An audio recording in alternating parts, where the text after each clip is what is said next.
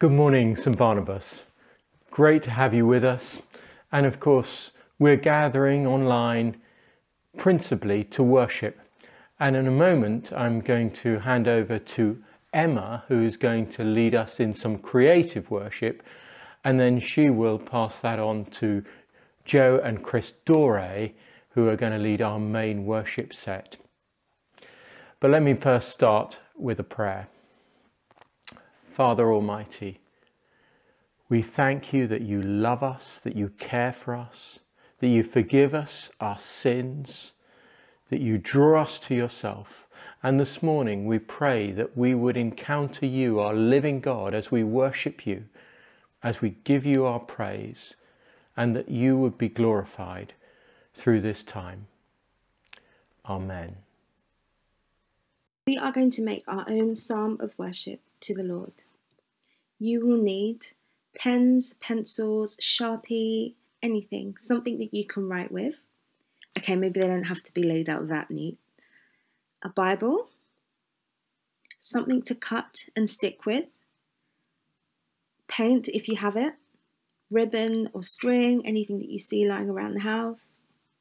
And then you'll need some scraps of paper, some newspaper, postcards, photos, maybe there's some leaflets and flyers around you. Grab things that when you see, they remind you of God or you see elements of God in them and who He is to you. The Psalms are beautifully poetries filled with metaphors, symbols, pictures, imagination, colour, fragrance, pain, joy, and love. They offer portraits of hope, light, and joy. They're a lifetime worth of reading that we can often make our own. We are going to make our own psalm of worship to the Lord. Start looking at what you have and start placing them and seeing what can come out of them. So for mine, I've cut out this word above and I've got this red ribbon that is just really bold. Um, and then I've got the green, which is just a really warm colour. And then I have this CD. I love music, and music to me offers lots of hope. And I also get that hope from God as well. So, what you need to do is rearrange these things and then see what words come up from them. So, for mine, I got the keywords hope, warmth, connected, above, and bloom. This postcard with the beautiful flowers on just reminds me of the flourishing that can happen when you're close with God. And so I've turned that into my own little mini psalm, which reads The Lord is my hope. I feel his warmth and boldness. We are always connected. He is above all my doubts and his love always blooms.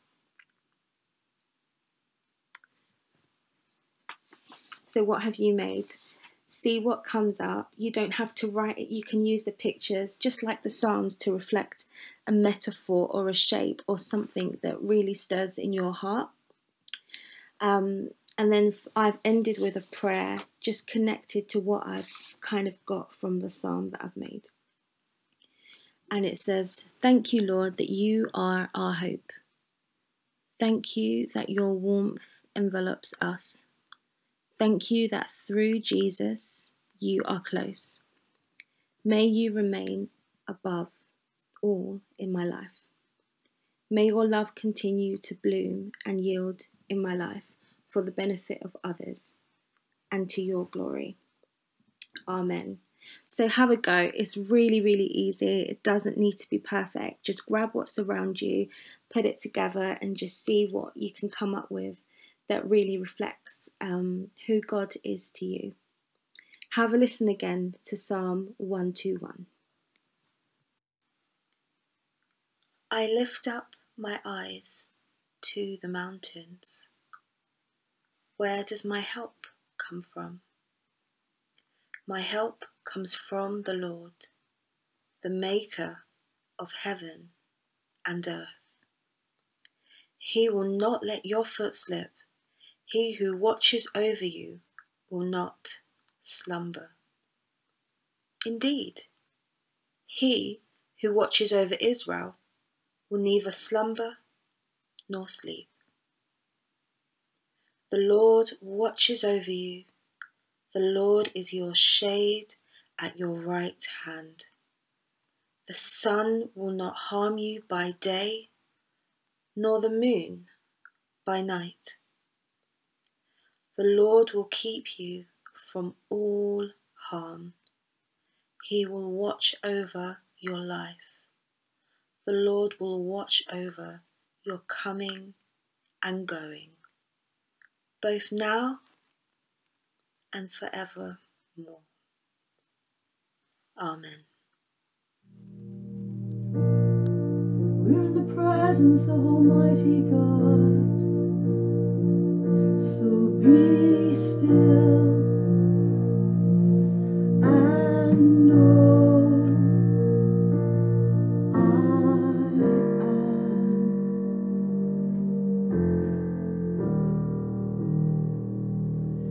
Be still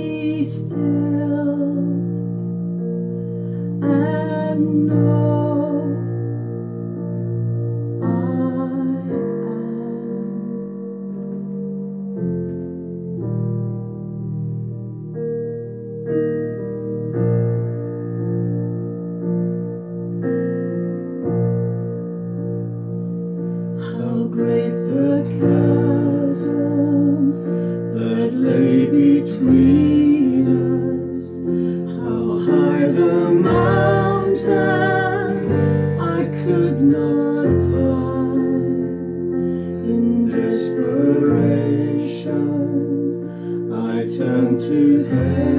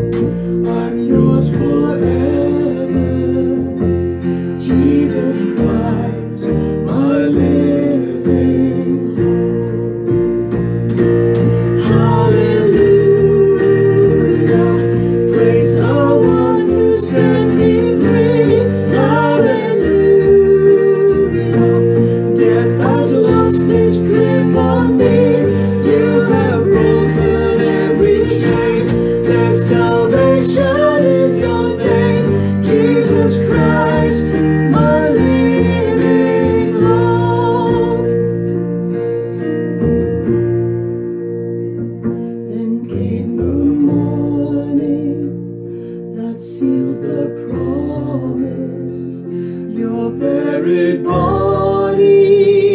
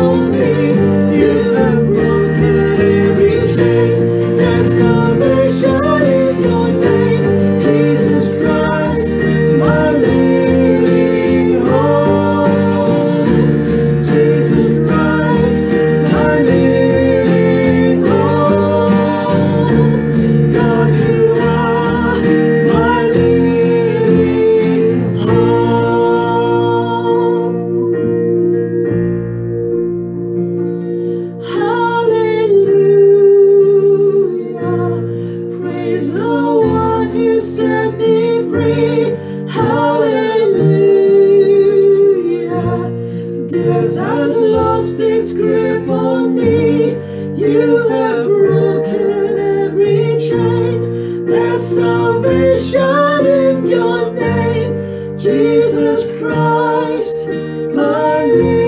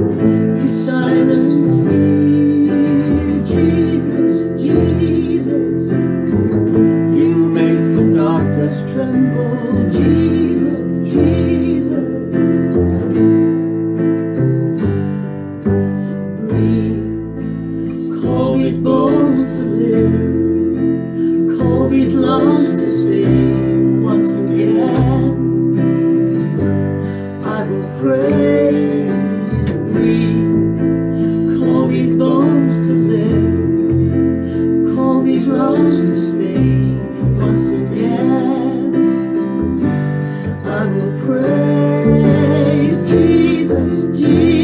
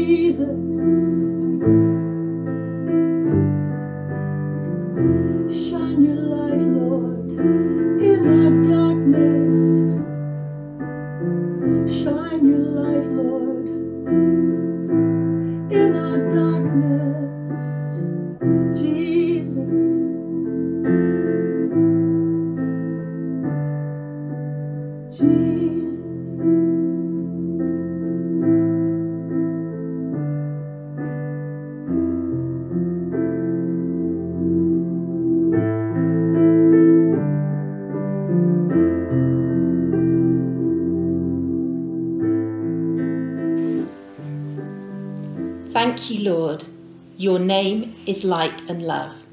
Jesus, your name is what sustains us. We thank you, Lord, that you have the power to silence fear, to give breath and life, and to fill us with peace. We pray, Lord, that each one of us might experience that power and know the peace and life you offer. Lord, we pray for everyone in our country affected by COVID. We lift before you the NHS and all the frontline and key workers working so hard.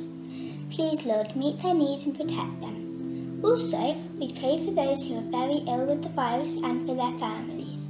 We pray you would be able to make yourself known to them as their healer and their friend. We pray for the church in lockdown. We thank you for the resources to worship together online. And we thank you that many people are um, finding church resources online. We pray that everybody that um, comes to those resources will know the comfort of the gospel. And we pray for a move of your spirit that many people in this time will turn to you, will know the love of God their Father, and will know the freedom and the joy of Jesus as their Saviour. Let's finish by joining together to pray as Jesus taught us. Our Father in heaven, hallowed be your name. Your kingdom come, your will be done, on earth as it is in heaven. Give us today our daily bread, and forgive us our sins, as we forgive those who sin against us. And lead us not into temptation, but deliver us from evil. For For the kingdom, The power and the glory are yours, now and forever. Amen. Well, thank you to Tim and Caroline and family for leading our prayers and to the Dores for leading our worship so sensitively. My name's Henry, I'm the vicar. And my name's Jane, and I'm married to him. And a very warm welcome from the both of us to our St. Bees Sunday morning service. If you've not joined us before, you are most welcome, and we'd love you to be able to find out a bit more about us. If you go to our website, www.stbarnabas.co.uk and click on Getting Involved. You can scroll down to our Connect form, which will give you all the uh, everything you need to do to find out more and to get involved. And one of the things that we do at this point in our service is receive our offering. And obviously, at the moment, this is all being done electronically uh, into the banks. Uh, but the church is still opening, the ministry is still running, and we encourage everybody to give generously to, uh, to that work. Uh, you can do so. Look on the website to the giving tab, and it shows you everything that uh, you need to do. I'll just pray for our money now. Father, at this time of uh, great strain for many people financially, including the church, we pray that you would provide for all our needs and that your kingdom would grow through our giving. Amen. Amen. Well, each week we are posing a question for you. And this week, the question is What have you started during lockdown? So, Jane, what have you started during lockdown? Well, something I've never done before. I've planted some vegetable seeds and I am really enjoying watching them grow. Oh, good. Yeah. Um, Henry, what about you? What have you started? Um, well, I started helping clean the house. Uh, I don't know whether I'm enjoying it or not, but I think it's useful. Um, and um, uh, yeah, so I'm trying to be uh, involved, uh, a dutiful hu- husband and uh, partner. And I'm enjoying it. We're now going to see a little video montage of what all sorts of other people have started during lockdown. I've been trying out watercolouring. Stepping out with God. growing from seed and cuttings.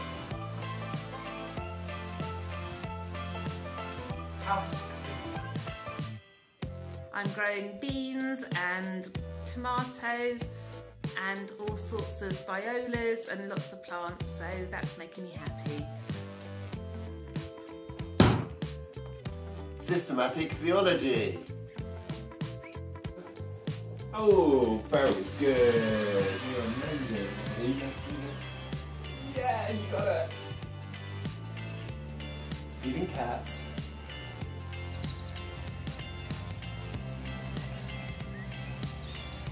Enjoying free golf courses.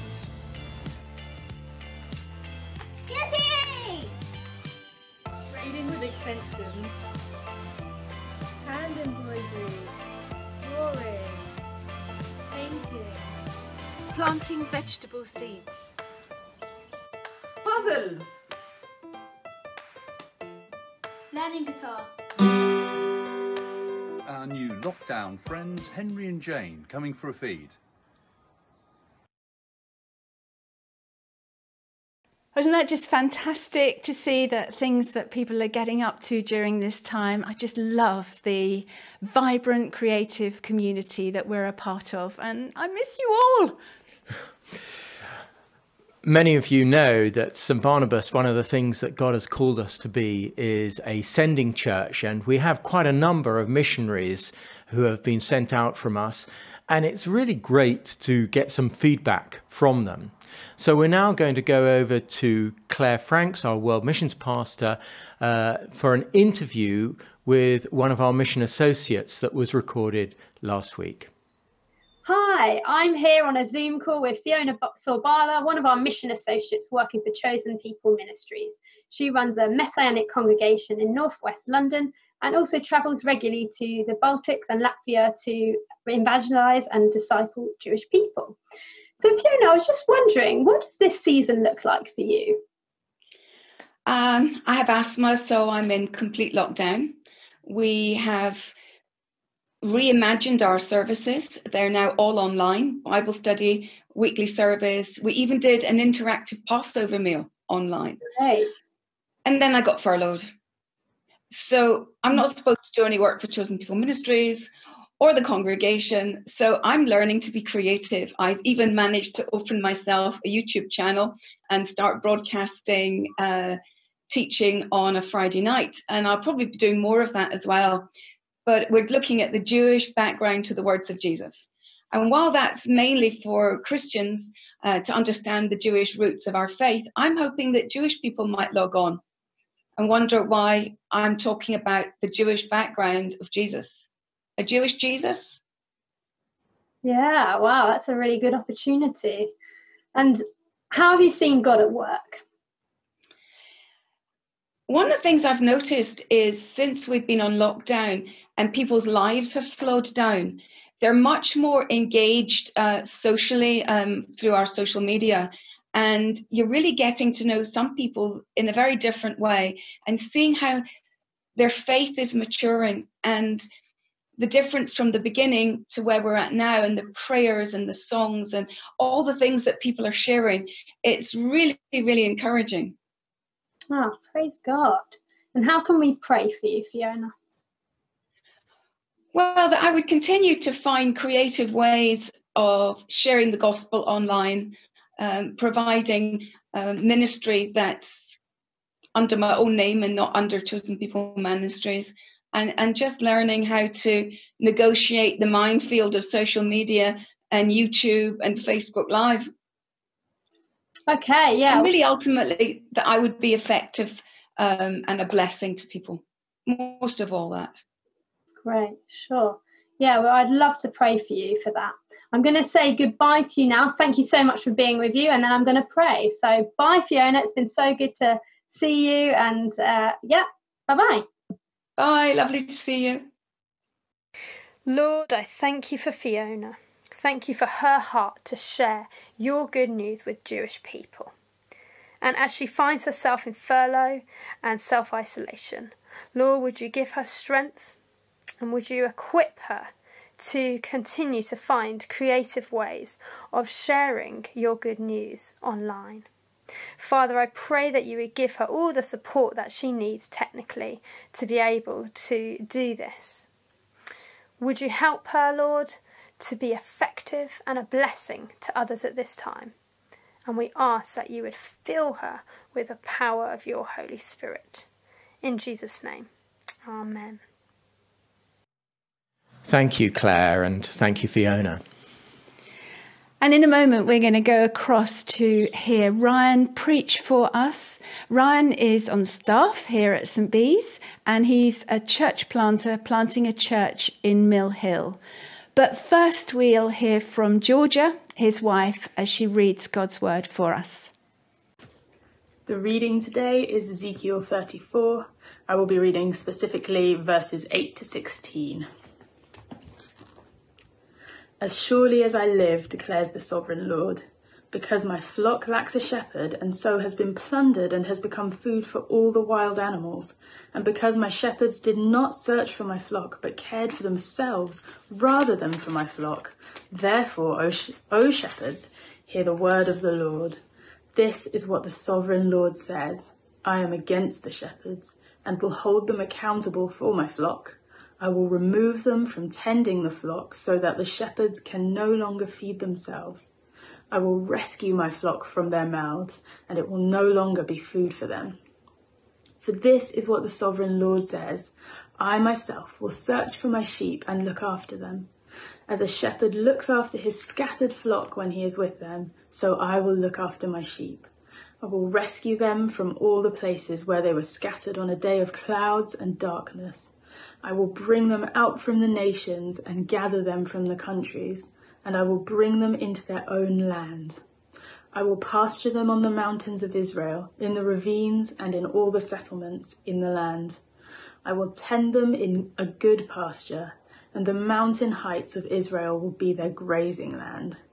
There they will lie down in good grazing land, and there they will feed in a rich pasture on the mountains of Israel. I myself will tend my sheep and have them lie down, declares the sovereign Lord. I will search for the lost and bring back the strays. I will bind up the injured and strengthen the weak, but the sleek and the strong I will destroy. I will shepherd the flock with justice. This is the word of the Lord. Good morning, St. Barnabas. Uh, thanks, Georgia, for reading Ezekiel 34. For those who don't know me, my name is Ryan. I'm a final year ordinand at St. Mellitus. Uh, that means I'm training to be a vicar eventually or a priest in the Church of England. Uh, I, I'm at St. Bees on my placement. Uh, although I'm not around around that much, I'm actually in Mill Hill where we're trying to pioneer new mission work and a church plant. And just like the rest of you, I'm at home right now uh, in this strange new world that we inhabit, that we live through. And it gives me some degree of comfort that the protagonist of this book in the Bible, the protagonist of this series in some way, um, he was living in a strange place too. Ezekiel was in this very unfamiliar place. Not only unfamiliar, but but hostile and threatening and alien and completely different and completely disorienting, I imagine. He was in a place where he had no control, no point of reference, no identity, or the things that made up his identity didn't count for much in this new place, this new world. He was in a place of despair and loss of hope, ripped from his home, and and just completely lost until God spoke. And God did speak in this strange new environment. God spoke in a strange vision, especially strange for our eyes and ears, one that probably made a great deal of sense to Ezekiel, but possibly was still strange enough to let Ezekiel know that it was God that it was not his own imagination. He had not drank too much coffee or had too little sleep. No, this was God telling Ezekiel, I am doing a new thing in a new way. And I'm speaking to you in a new place too, just to freak you out even more. So here, here's Ezekiel receiving this vision, completely unprecedented.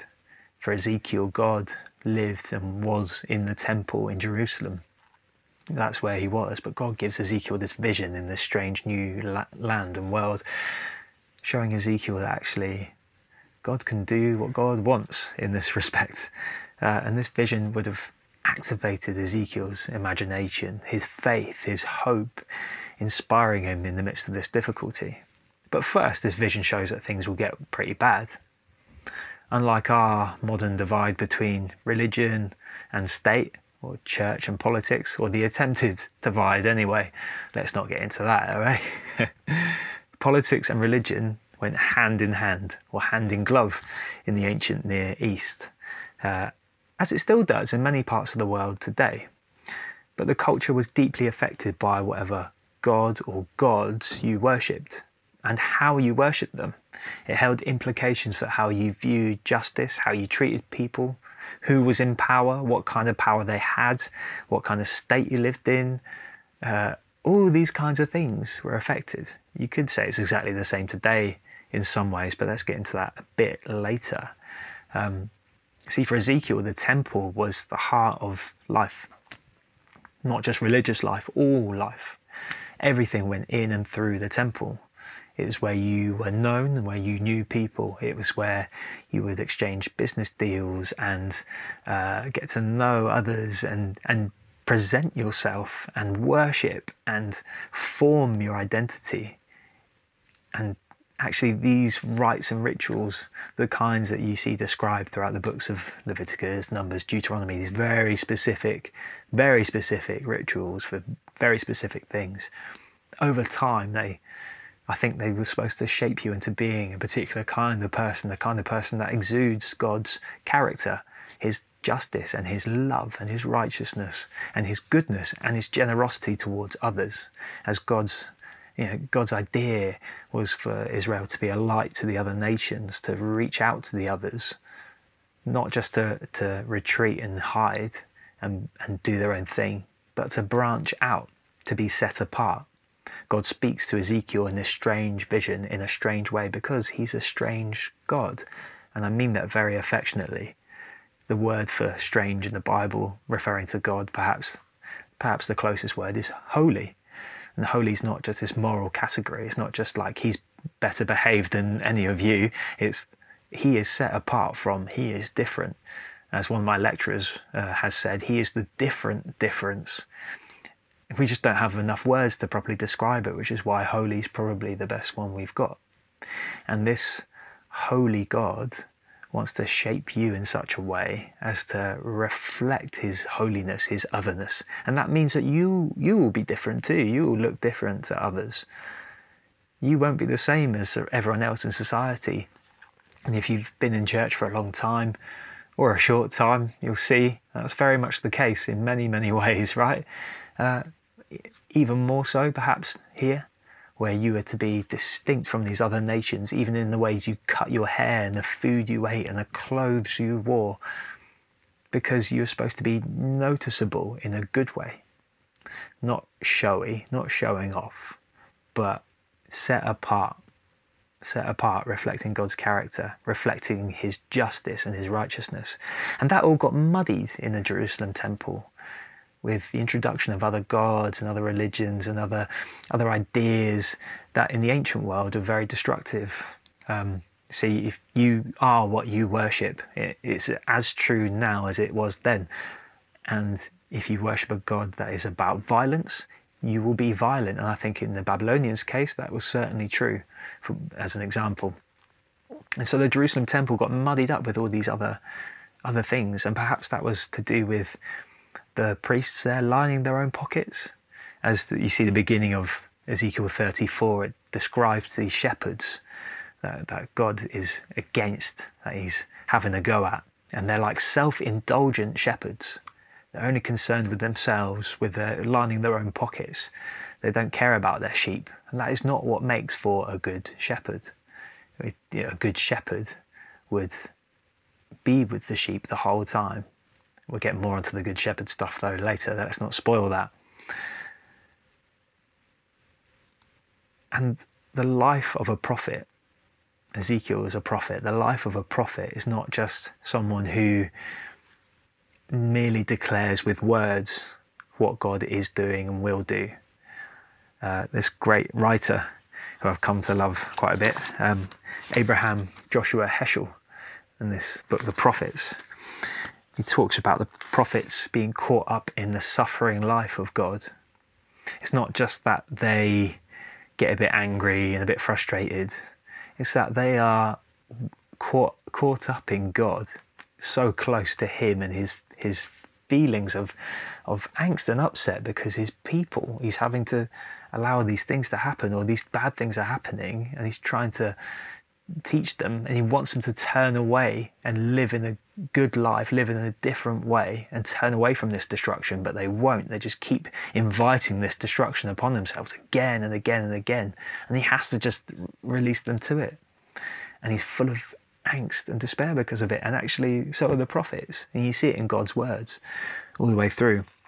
And I love how Abraham Joshua Heschel puts it. He says, where an idea is the father of faith, faith must conform to the ideas of the given system.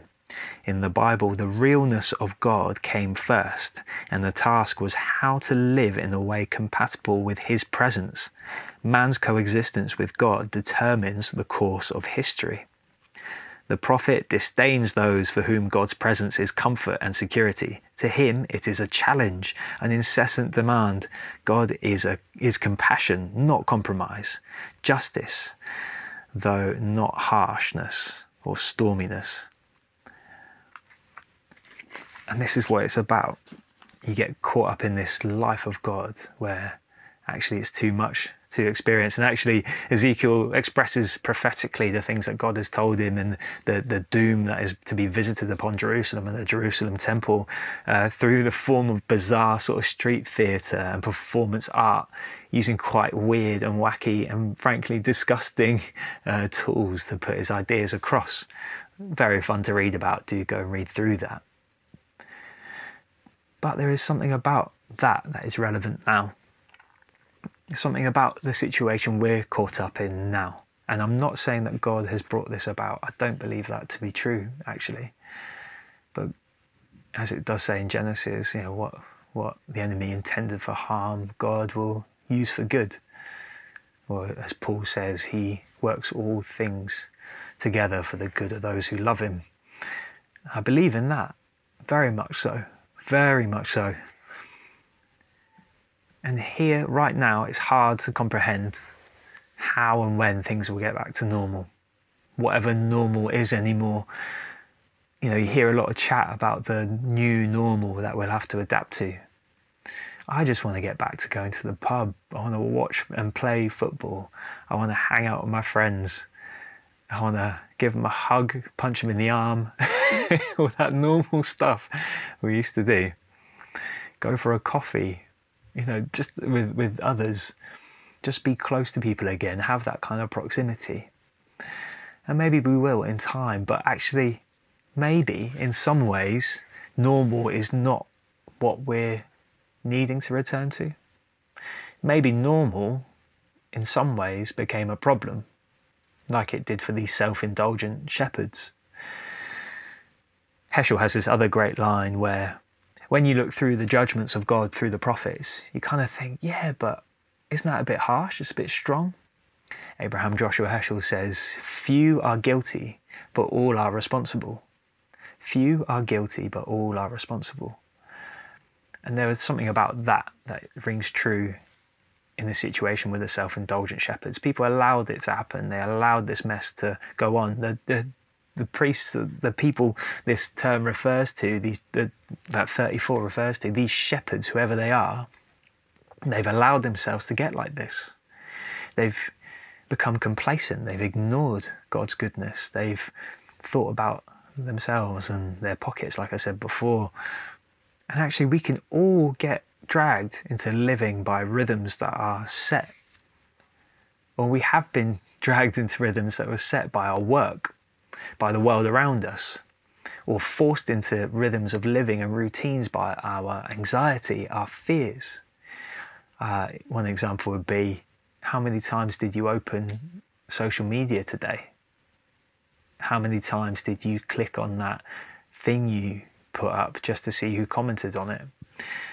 How many hours a week do you work at the expense of seeing your friends or family or at the expense of rest? These things they make us into particular kinds of people.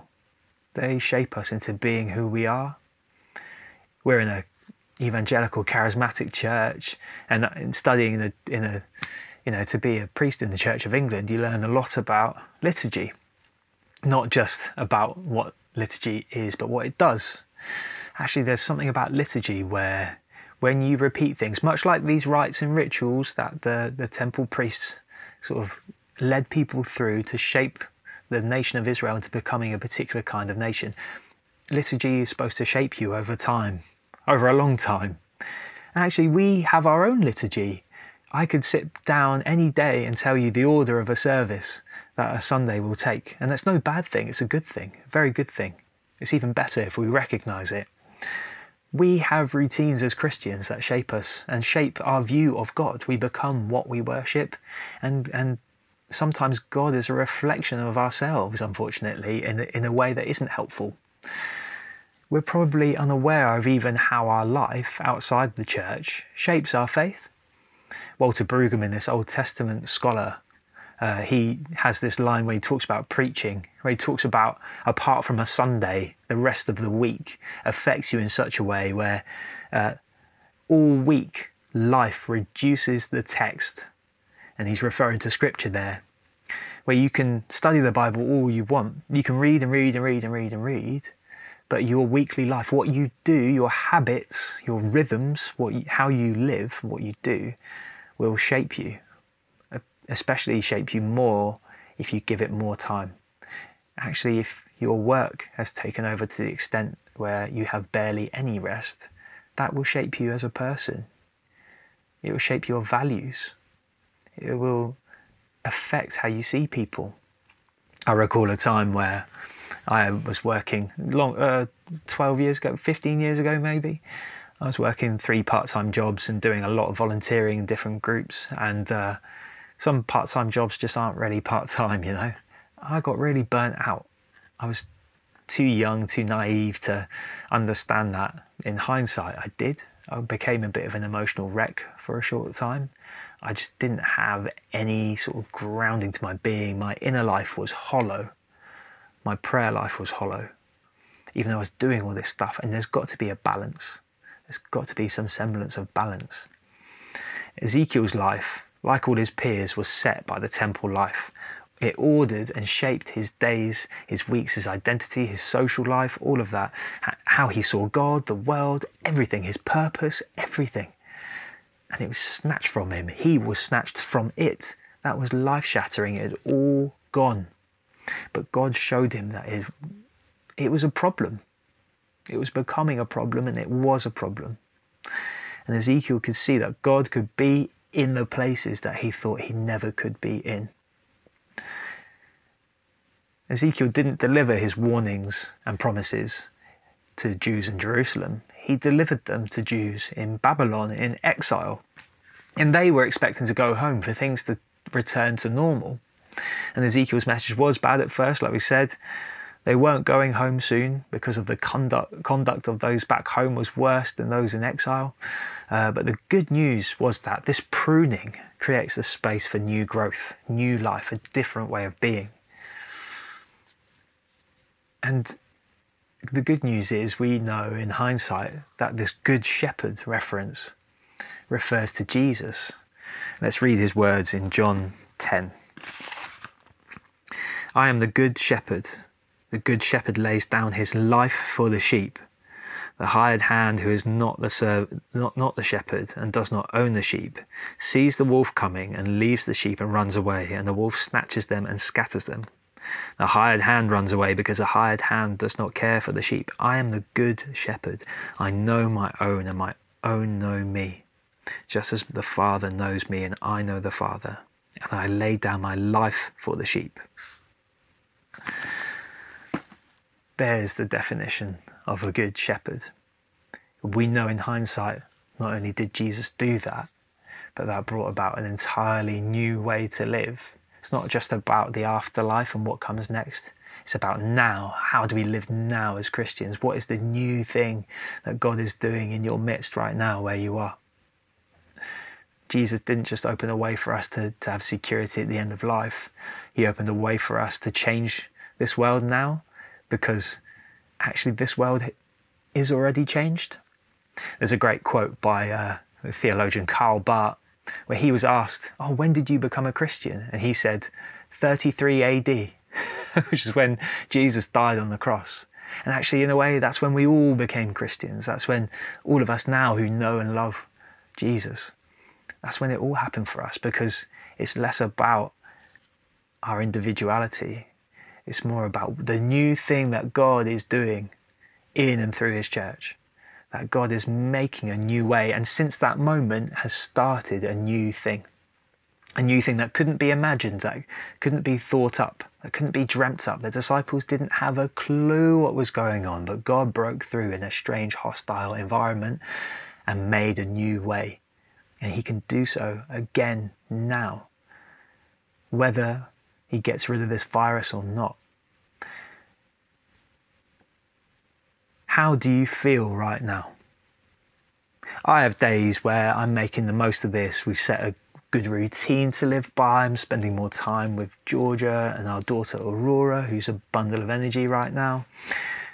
Getting work done, you know, get out for regular exercise, But then I have days where I feel like a coiled spring, irritable, feisty, pent up, angry, trapped for too long, need to get out, need to burst out and go and do something expressive and creative. And then there are days or hours where I feel weighed down, I feel full of despair, sadness. All of which, all of these are based on the idea that I'm going to return to the version of normal self again that I'm going to be in some semblance of control of my life again. But the challenge in this time is to conform, like the prophets did, like Ezekiel did, conform to faith, to see things through the lens where humanity's coexistence with God determines the course of history. To see things through the lens of the resurrection, where Jesus' death and resurrection and ascension changed everything in the world. Full stop everything stopped and started again in a new way at that moment. And the challenge here is to enable our faith not to be tamed, but to reclaim the wildness that went with that, the speculation, the mystery. To trust God in the wilderness, where we're lost and wandering, or in exile, where we've been taken away from what is known and comfortable and secure. So, some questions. What space are you creating for prayer? How are you specifically listening to God? What are you asking of God? Are you challenging Him to speak to you in a way that breaks through everything else, breaks through the daily briefings, breaks through the anxious searching through news reports, if you're anything like me, breaks through for hopeful signs of some, some good to come through? How is your understanding of the world being challenged right now? And in what ways might God be speaking to you in the midst of all this? I just find that actually in this time, maybe much like Ezekiel, we can be honest about who we are and where we're at and the despair we feel, but to do so in knowing that God is not absent or distant. He is as close now as he's ever been, maybe even closer for some of us. And so to bear that in mind right now, I'd like you to, or I'd invite you just to put your hands out in a receptive, open position, body language to God. And I'm going to pray a prayer, a really simple prayer. Holy Spirit, come. May we know God's hope in the midst of trouble. May we know the love of God for His creation even right now even right now in the middle of this pandemic. May we trust in Him and trust that He is up to something good. That He is up to something good. God, would you shape our lives and, and hearts around your goodness, your justice, around your character and nature? Help us to follow you to be formed in that following. Help us to use this time right now to be different, to be open to your challenges, open to your words, open to your instructions that look and sound so different perhaps than before. God, we welcome you. We welcome you, Holy Spirit. Would you shape us? Shape us to know you better, to be known better by you, and to be more loving towards our neighbours in ways we perhaps haven't thought of yet. In Jesus' name, Amen.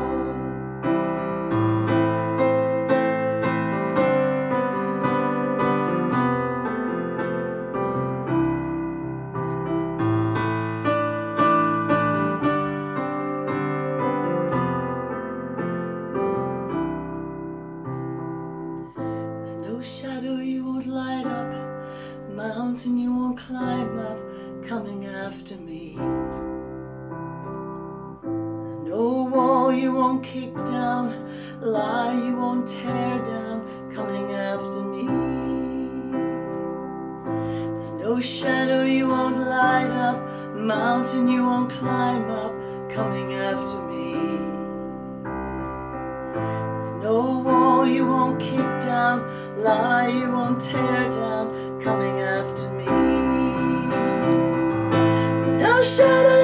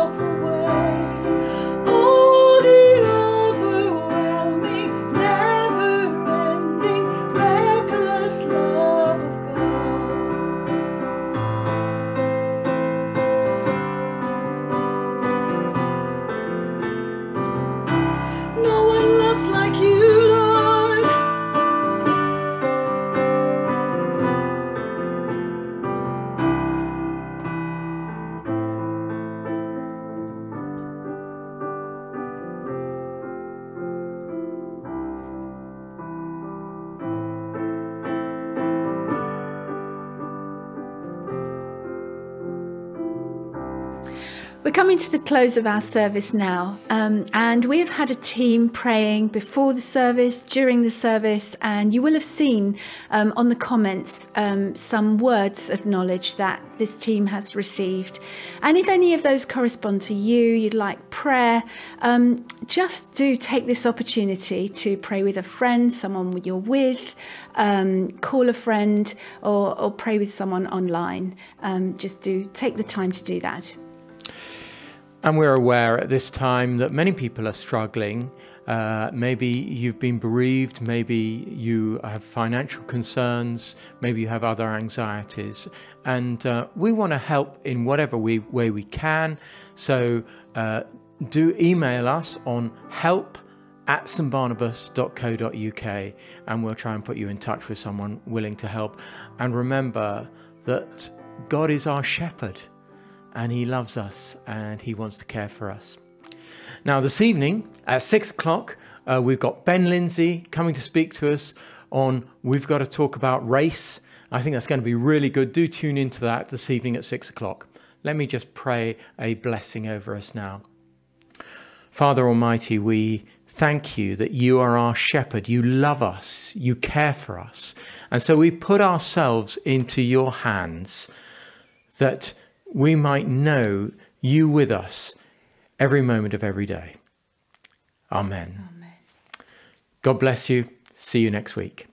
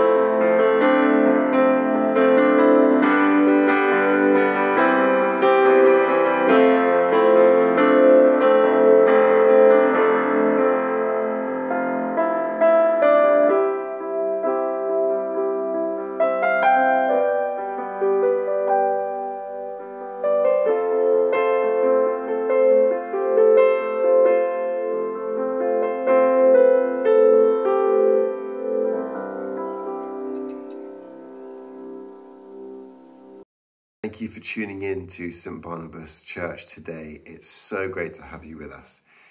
Now, if you would like any more information about how to get involved in St Barnabas Church, how to join a life group, how to see what's going on, how to give or get connected, then please head to www.stbarnabas.co.uk or you can just type St Barnabas North London into your search engine.